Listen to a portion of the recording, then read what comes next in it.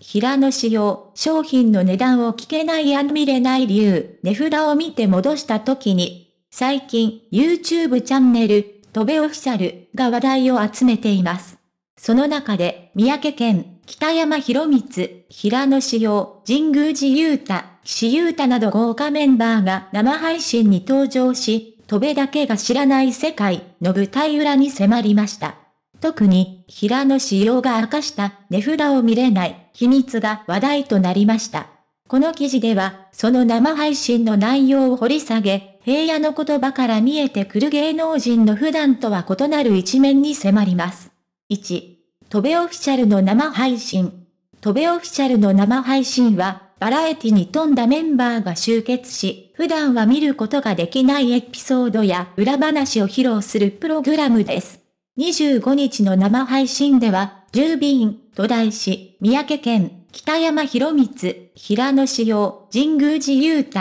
岸優太、イムップの佐藤真、影山拓也、横原祐希、岸俊介、椿康が、鈴木大が、松井荘の豪華な面々が一堂に返しました。司会を務めた北山博光が、このお仕事をやっているとなかなか行けない場所、やれないことがあると思いますけど、ケンさんも芸歴ありますから、そういう経験があるんじゃないですか？富明健に質問する場面で平野志陽が意外な発言をしました。2、平野志陽の値札トーク。三宅健が自由に行動できることについて尋ねられ、気にしないもん、と答える中で、平野志陽が、やれないこととかはどうですか？と質問しました。その際、平野は驚くべき秘密を明かしたのです。例えば僕で言うと値札を見れないと告白。値段を聞けず、見ることもできない理由について、値札を見て戻した時に、あ、予算より高かったんだなと思われるのが嫌なんですよ、と語りました。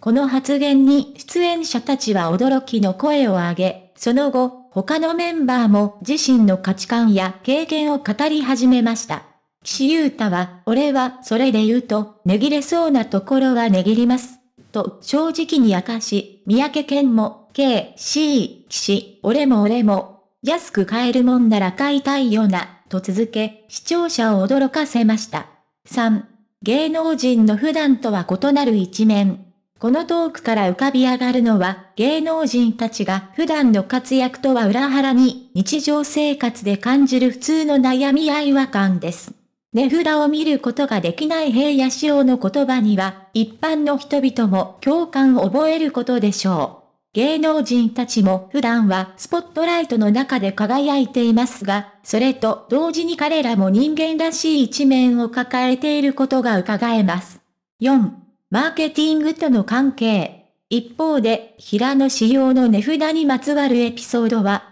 彼が商品に対して持つ独自の感覚を考えさせられます。商品の値段を気にせずに選べることが一般の人とは異なる芸能人ならではの特権である一方で、これが彼の選択にどのように影響しているのか、その背後にはどのような心理が潜んでいるのかにも興味が湧きます。彼の値札トークが芸能人の商品選びにおける独自の価値観やアプローチを垣間見せていると言えるでしょう。5. 芸能人としてのプレッシャー。値札を気にせずに商品を選べるという特権は、同時に芸能人としてのプレッシャーも伴います。一般の人々が気軽に手に取れる商品でも、芸能人がそれを手に取ることはファンやマスメディアの注目を浴びることを意味します。そのため、値札を見ないことで避けているのかもしれません。平野仕様のような人気芸能人が普段の生活で感じるプレッシャーについて、今回のトークを通じて垣間見ることができました。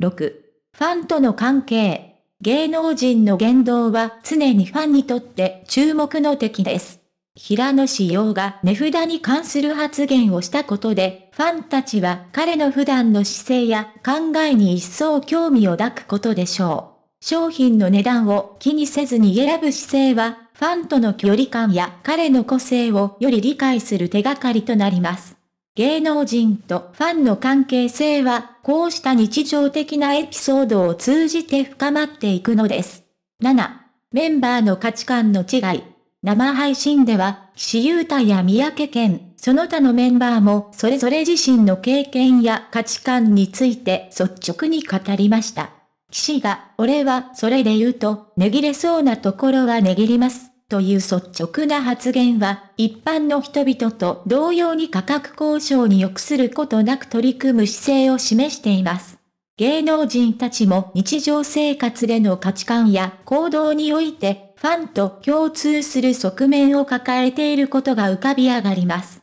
平野仕様の値札トークが示す普遍的な人間性。平野仕様の値札にまつわる発言は、彼がどれほど人間らしい一面を持っているかを浮き彫りにしています。商品の値段に臆することなく、その独自のアプローチが彼の人間性やファンとの関係性に影響を与えていることが見て取れます。一方で、他のメンバーの発言も芸能人たちが普段抱えるプレッシャーや価値観の違いを垣間見せ、彼らが一般の人々と同様に悩みや喜びを抱えていることを伝えています。トベオフィシャルの生配信は、ファンにとっては彼らの知られざる一面を垣間見る機会となり、芸能人たちとファンとの絆をより深めることでしょう。